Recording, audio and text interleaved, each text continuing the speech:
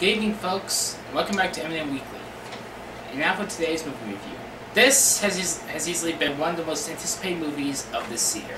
And to explain why, we need to go back at least a decade to a 2004 movie called Finding Nemo.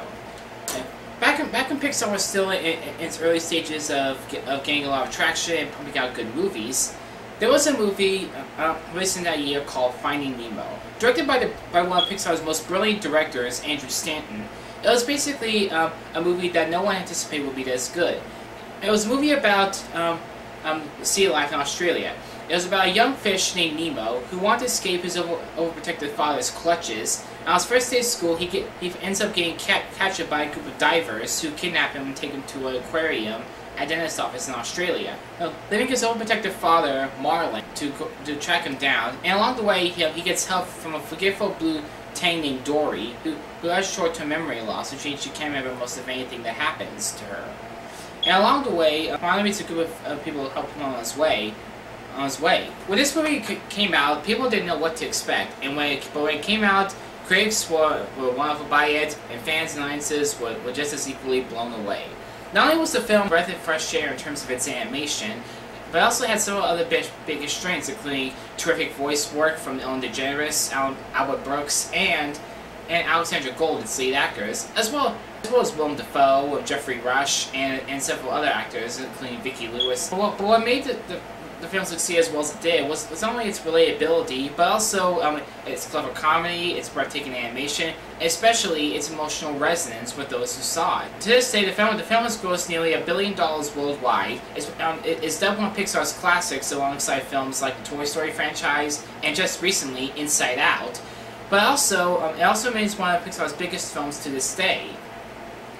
Fast forward several years later, um, and out of nowhere, Pixar announced a sequel to this film.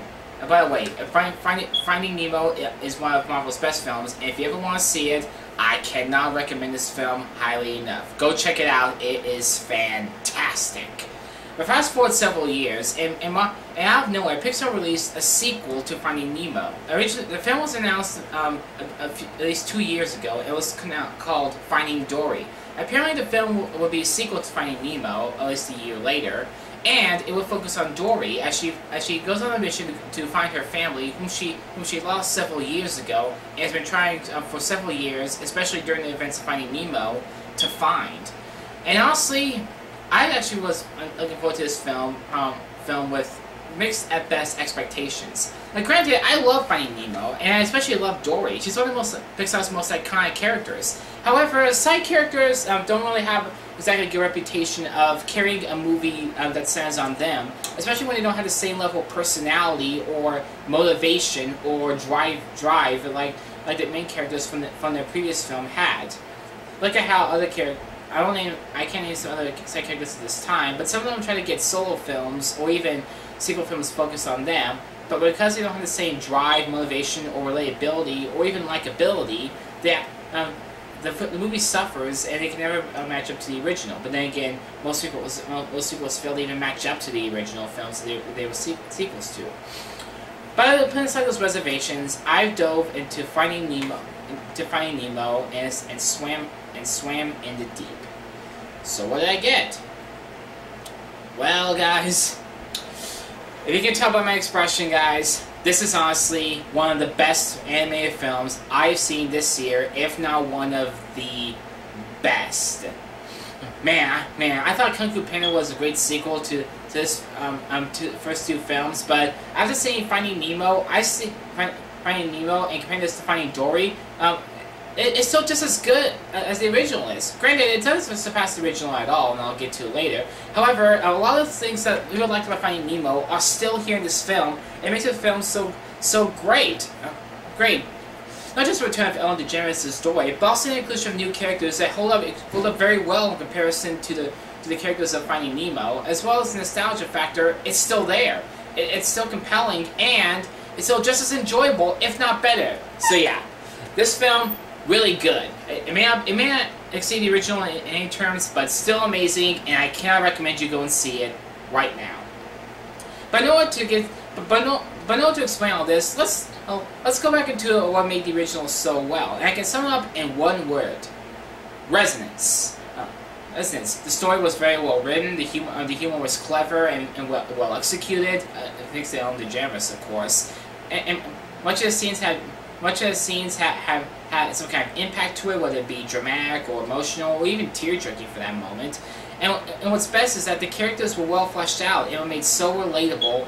relatable. Uh, yeah, even though they could seem conventional to the open eye, there was something deep and motivation, motivational inside them that made you want to care for them, especially Dory.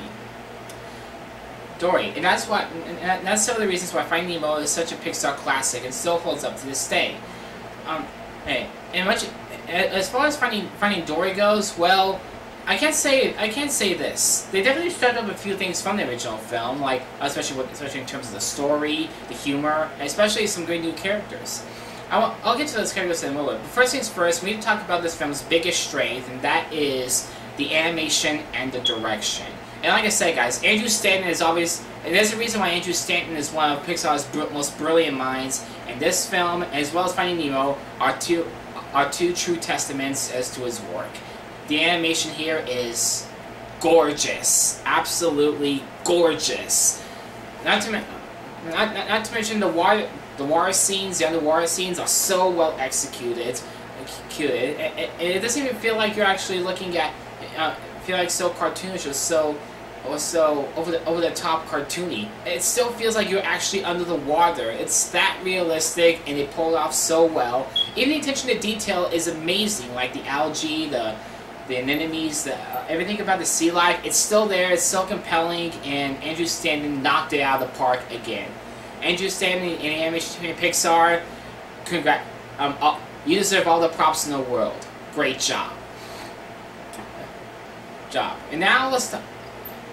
Now, and, and now this gets a little tricky. The next tricky part we get to covering is the writing. Like I said, maybe the best aspect. Um, um, Finding Nemo uh, uh, exceeded well for having a very well written script that, that fleshed out its characters, had some had some clever and well written humor to it, especially drove the story forward and not having a single dull moment, moment as it went along, and it kept fans engaged the entire the entire journey. It's well introduced into quirky characters that even though they didn't play much of a purpose, they still were funny and and, and, their, and their appearances were, um, were all all the more worth it.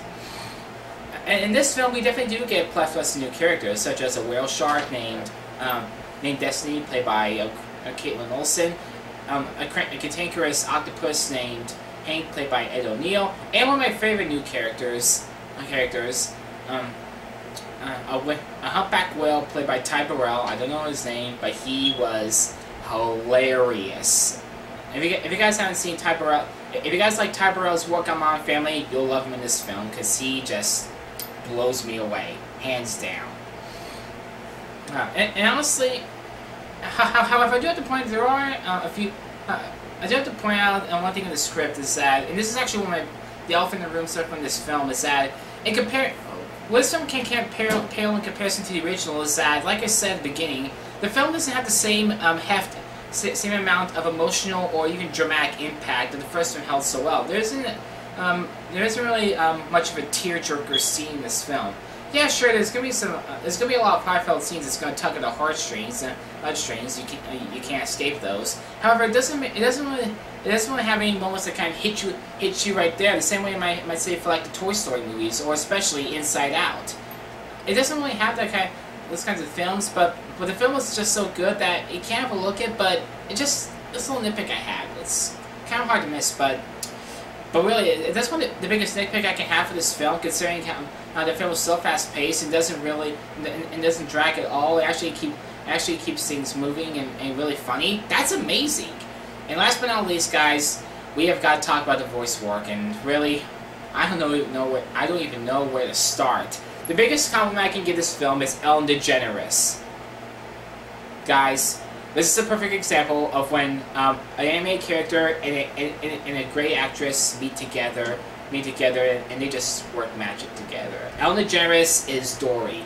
That's it. No one, they should not, they should not ever replace her. Ever. She is Dory in real life. She is Dory on screen. Um, Ellen DeGeneres is Dory, this in the same way that Owen Wilson is Lightning McQueen, and like Wolverine, like Wolverine is Hugh Jackman, and vice versa. All in all, guys, Do Ellen DeGeneres, I may have seen many films, but for this, maybe for this film, you knocked it out of the park. Well done, well done, well done. Also, the other voice characters, Ed O'Neill, you are you are great. Great. Ty Burrell, Kaitlin Olson were fantastic. Even Albert Brooks and uh, Albert Brooks and the kid playing played Nemo, they were actually just the same. Well done. Uh, voice work is very top notch.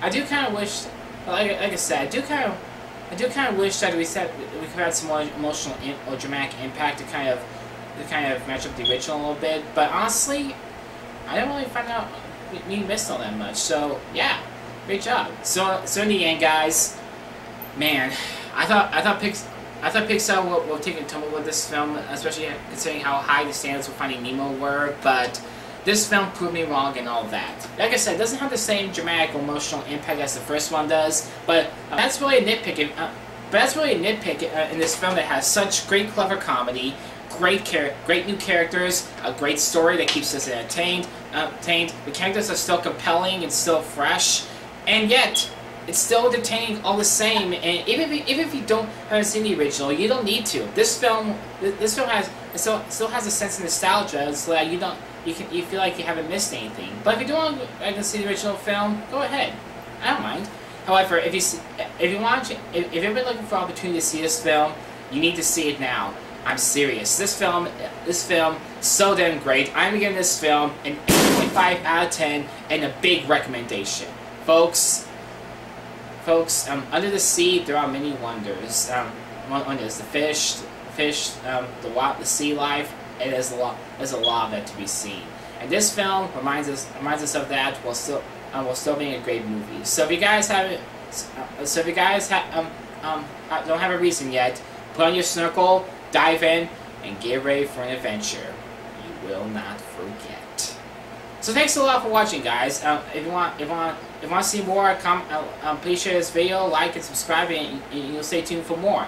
Also, um, also, um, just a reminder, I would like to get to 50 subscribers at the end of this film, and I would like to get this my videos up to a thousand views if you can help me. I would appreciate that, guys, so much. Thanks for, thanks a lot. It, thanks a lot. There's not much more I can say. Uh, if you want to check me out on Facebook, or Facebook, go right ahead. My link is down below, as is as is my Twitter. Um, please go ahead and, and leave me a tweet or follow me, and I will be all the more grateful. Until then. I'm Ross Butler, you're watching M&M Weekly, and I will see you next time.